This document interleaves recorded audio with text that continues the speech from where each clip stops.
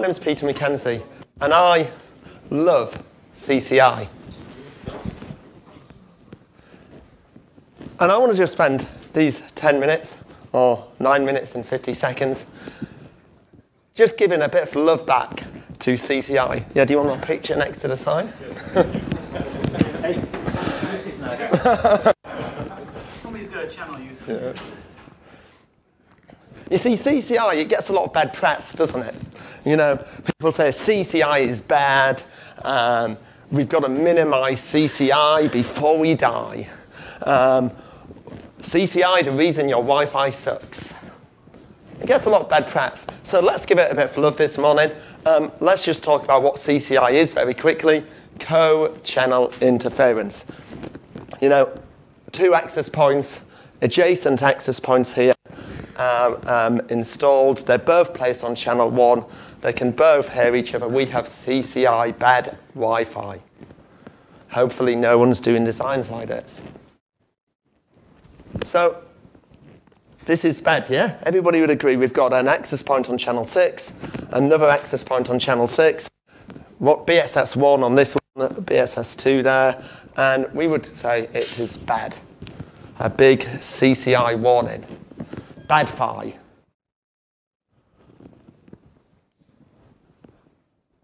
We agree that's bad, yeah? Oh, good. My question is then, something's just popped up on my screen. Is, is this okay? One access point on channel 6, two BSSs, and some clients connected. Do we design networks like this? Hands up who's designed a network like this. Is that bad? My question is, do we have CCI there? Yes, we do. What's at it equal? We have got BSS1 on channel 6. First picture I showed you, bad CCI. This is what we do. But the thing is, CCI, I, these are pretty much equal, aren't they? Have a think about it. They're pretty much the same scenario. Um, you've got the same number of stations, the same number of BSSs, so the same number of beacons being transmitted, and you've got the same number of clients contending for the access medium. Let's just have a look at another scenario then. How about these? Are these equal? I've got here, again, two access points on channel 6, separate BSSs, but here I've just got one BSS. Both diagrams show 10 stations contending for access on channel 6.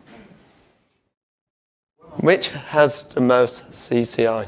Same CCI, the one on the left has twice the cost. The one on the left has twice the beacons and also twice the price, yes, in terms of how many APs. That is very correct. But they both have CCI, and that's the thing I want to do. Let's have a look at something else, and which is worse here.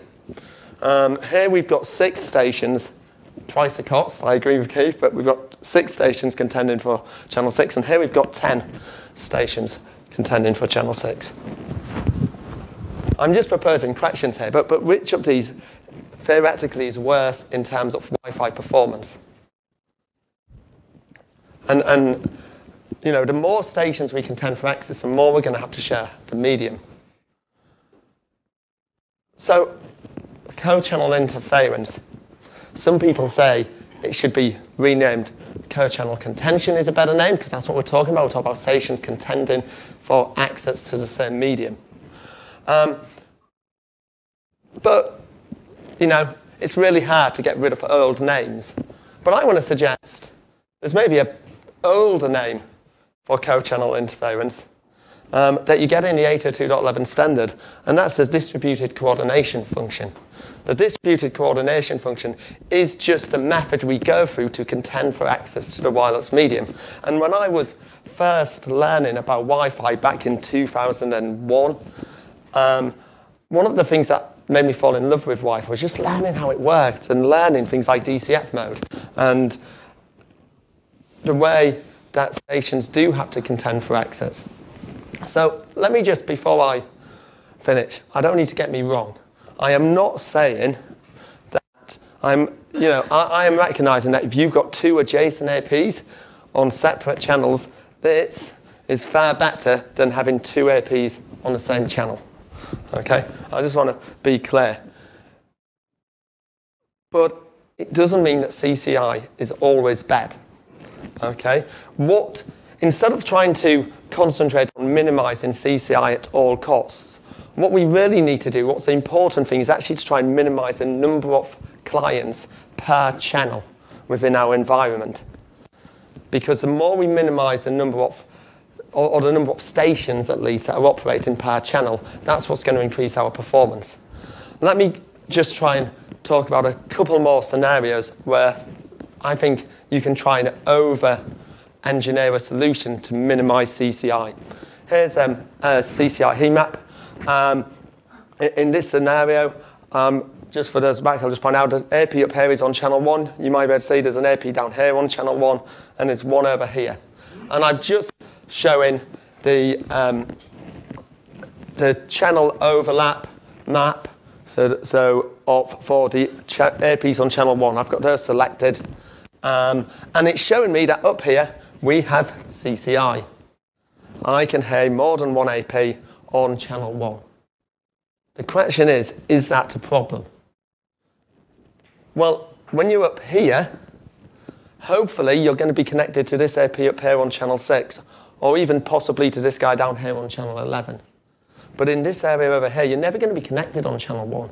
Not if your wireless network's designed right and you've, got, you've designed it to the roaming requirements and you've got all your configuration right. So in one sense, does it matter that I've got CCI there? Because I shouldn't ever be connected on channel 1. Um, but I've seen people try and get rid of this grey at all costs. Um, and what they end up doing is minimizing their coverage. So actually, in, in Ekahau, I just want to say if you select associated channel on this view, it'll get rid of that grey area for you. Because it just looks like, it just looks to say, do I have CCI on my associated channel of what I should be associated to in that area? And that would give you back your nice green heat map. If you haven't seen that configuration, I thought I'd point it out.